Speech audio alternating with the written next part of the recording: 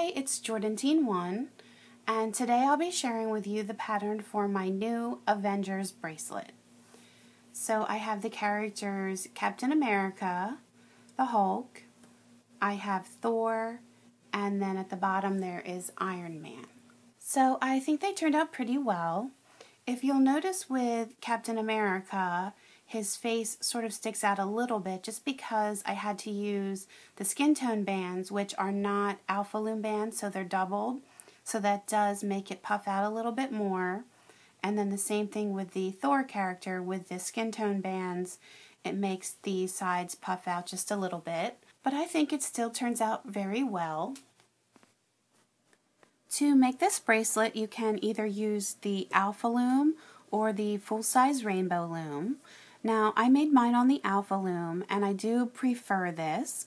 And it's nicer because there's a little bit more width in between the pins, and then you have your comb, which has the seven hooks, so you can loop it seven times faster. But if you don't have access to that and you still want to make it, you can use your full-size loom. Just set your pins in line with one another and use seven sets. As far as my band counts go, I used 378 of the different colors and then 54 of the clear. And I used mostly the Alpha Loom bands except for the skin tone. And let me just break it down by each of the colors.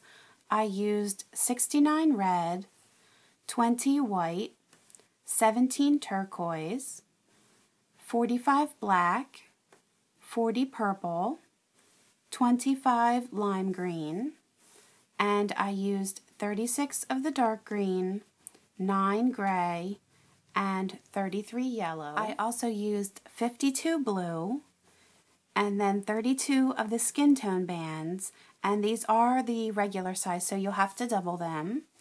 And then 54 of the clear, which help tie the rows together. So here is the bracelet again. And I am going to put the grid pattern above my bracelet so you can just pause your video and then follow along with that pattern to create your own bracelet. But let me just tell you a little bit more about the bracelet itself. I used 54 rows for this one and it measured approximately 7 and 3 quarters inches and you may need to make your bracelet a little bit longer or shorter depending on the size of your wrist and inside of the Alpha Loom, there is a template that you can use to measure the length that you will need. So if you need to add or subtract rows, you're going to want to do that either on the two ends or then in between the characters. And I have four rows in between my characters because I did color blocking and I like the look of it with two of each of the colors. But you can definitely subtract in between those characters or then on my ends I used three rows so you can subtract a row or two from there. And if you wanted to you wouldn't have to use the color blocking pattern. You can just make it one solid background color whatever you think would look good. So there's a lot of different possibilities. I hope that everyone loves their new Avengers bracelet.